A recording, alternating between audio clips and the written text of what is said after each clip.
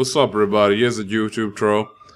And I wanted to let you guys know that I'm going to be doing a lot more casual commentaries and not just live comms.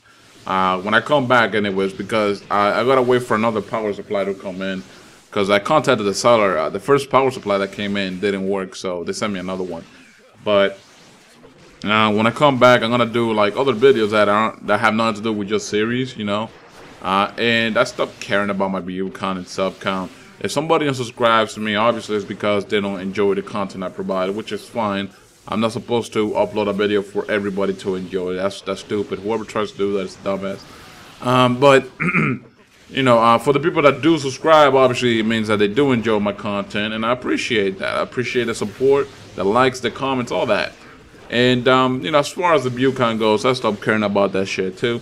Because um, I am partnered, but, you know, given the fact that I'm in the Naruto community and, you know, my channel is actually relatively small compared to uh, any other YouTube channel, I decided, you know what, fuck it. Uh, just do just do YouTube videos whenever I feel like having fun or, you know, just interacting with you guys.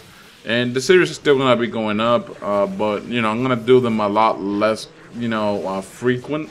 Because I feel that when I was, before the HDPVR fucked up, I feel like I was doing them in, in a pattern that, you know, it was just not good enough. So I'm just going to do uh, regular commentaries and all that. I just wanted to let you guys know that because, you know, I haven't been on YouTube for the past four days.